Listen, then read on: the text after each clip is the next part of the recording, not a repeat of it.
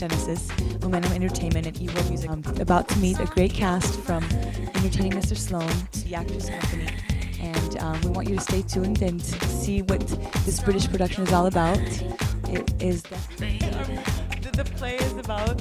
You, tell us about what your character.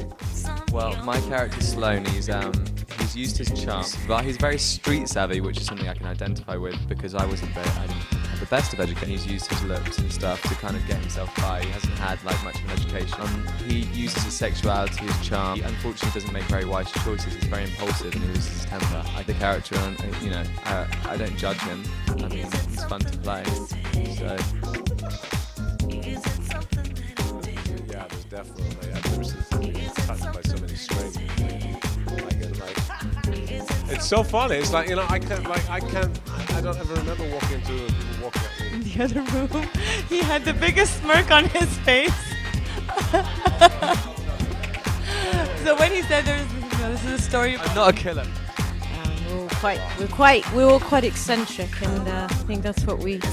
Well, well, yeah. Anyway, so he was. I was telling Stan that I really wanted to do another play. I come from you know theatre and, and I did a play, and then we were speaking about like who we wanted, and we literally got like the best cast ever. So. Seeing those eccentricities in all of us and putting us all together because the play kind of calls for it. So.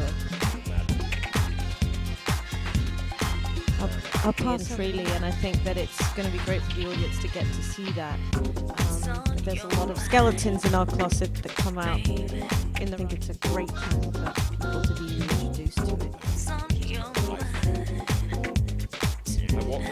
I walked. I looked at the set today. And I was like, oh lord, trinkets and stuff. That, everything.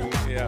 back around when the public are ready to see it again. So I think because of the nature of the content of